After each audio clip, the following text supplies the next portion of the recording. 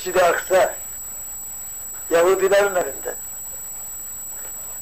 O Mescid-i Aksa onun acayip bir tarihi var. Evet işte Üzeyr Aleyhisselam'ın şeysini okuyoruz.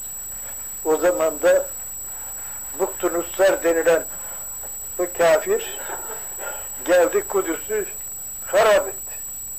Kaç defa harap olmuştur. Orduları kaç defa oraya hücum etmişlerdir. Yıkmışlardır, yakmışlardır. Her türlü rezaleti yapmışlardır. Mescid-i Aksa orada.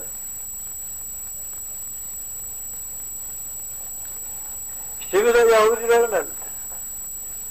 Onlar da bir harit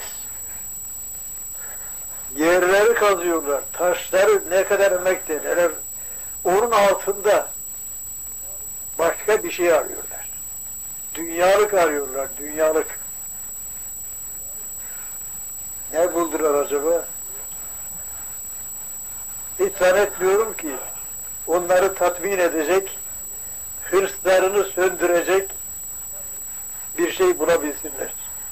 Yalnız onların vazifeleri cibilliyetlerin iktidası şer için hark edilmiş, fitne için hark edilmiş, her yeri ifsad etmek kabiliyetinde olan o meş'um menhus millet evet bu asırda bile bulundukları yeri telvis ederler, tahrip ederler.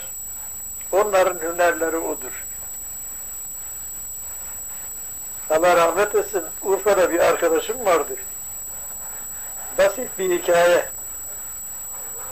Dedi ki o zaman az bir Yahudi de vardı Urfa'da. Yahudi beni çağırdı diyor. Bir adamı, bir Müslümanı çağırıyor. Bir işi var gördürecek. Gördürecek. Gördürdükten sonra gidiyor adam. Ona kapıyı açıyor. Kendisi çıkmıyor. O gelen adam çıkarken kapıyı kuvvetle kapıyor, ayağını incitiyor. Ve Subhanallah diyor ya. Beni çağırdın, komşu diye geldim. İşini gördüm. Ediyor, bizim dinimiz bunu böyle iktiza ediyor. Sen Müslümansın, biz sana hıyanet etmeye dinen mecburuz.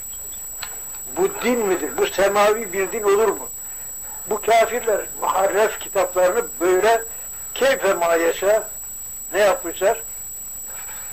Tağyir etmişler, tebdil etmişler. O muharref kitaplarına inanırlar. Kakamlarına kakamlarda da çok itimat ederler. Bunların başı da vardır. He, kakam başı.